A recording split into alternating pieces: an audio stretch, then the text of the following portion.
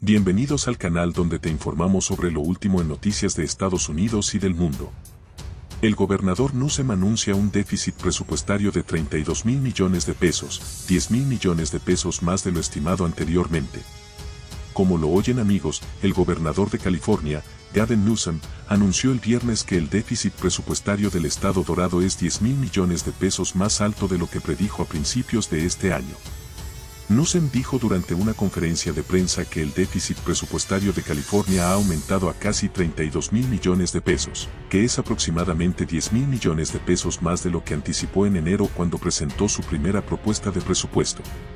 Tenemos un desafío de 31.500 millones de dólares, que está dentro del margen de las expectativas y dentro de nuestra capacidad de abordar, dijo Newsom. Como sabemos compañeros, California que tiene el presupuesto más grande de la nación con 306 mil millones de pesos, es uno de los pocos estados que tiene un déficit este año.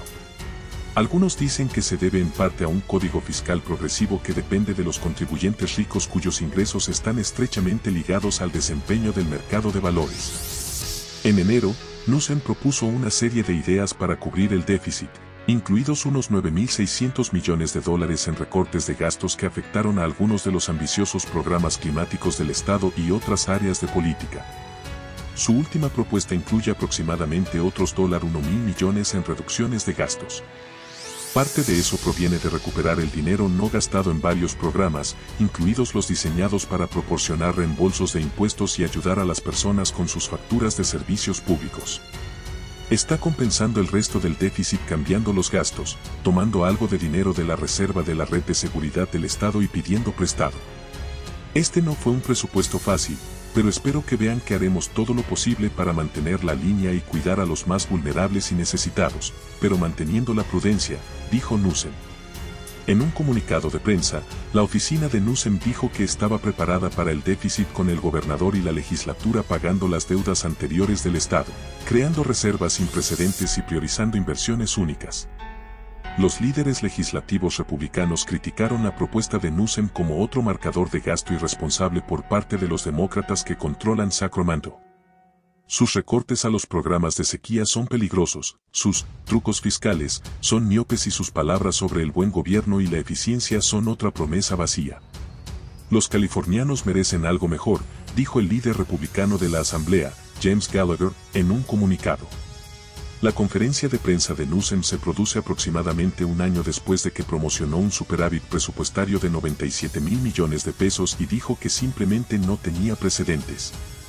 Pues amigos, el anuncio del déficit presupuestario se produce casi exactamente una semana después de que un comité establecido por Newsom recomendara pagos de reparaciones en efectivo a los residentes de piel para reparar la labor, forzada que podría costar miles de millones al Estado si la legislatura lo aprueba. Poco después de que el comité aprobara el plan, Newsom se distanció de la idea de pagos en efectivo a los californianos en respuesta a la labor forzada, que nunca fue legal en el Estado. ¿Y tú dime qué opinas?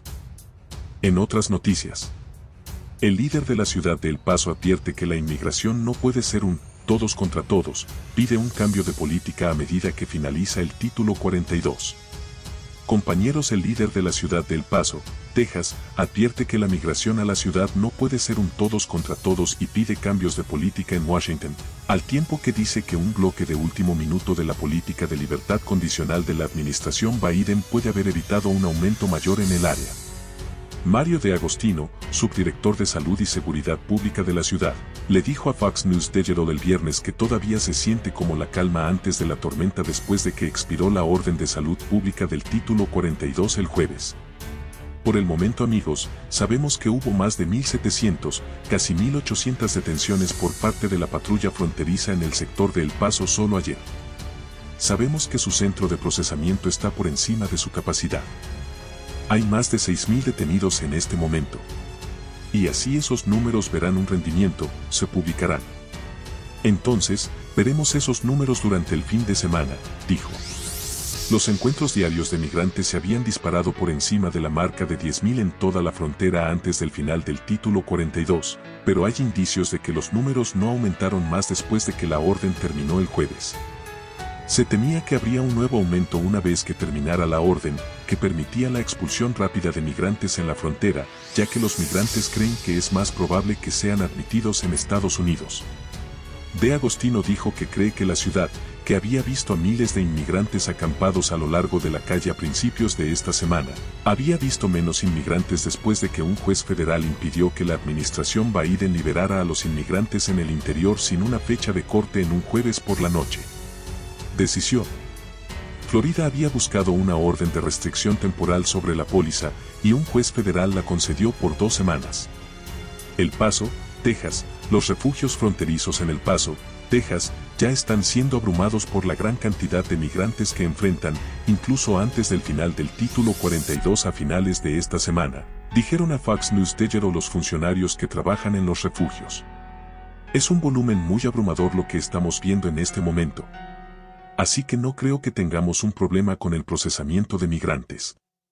Son solo migrantes en esta capacidad, los sistemas están abrumados, los albergues están abrumados.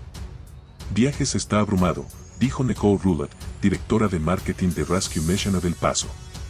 El Paso ha sido una de las áreas más afectadas de la frontera.